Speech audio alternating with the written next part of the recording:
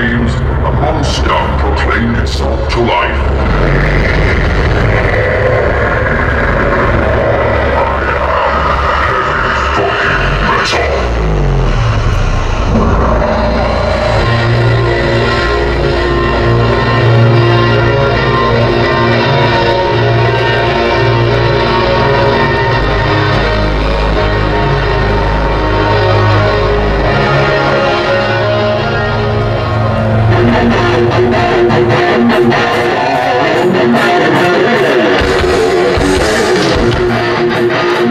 I'm going to go to the hospital.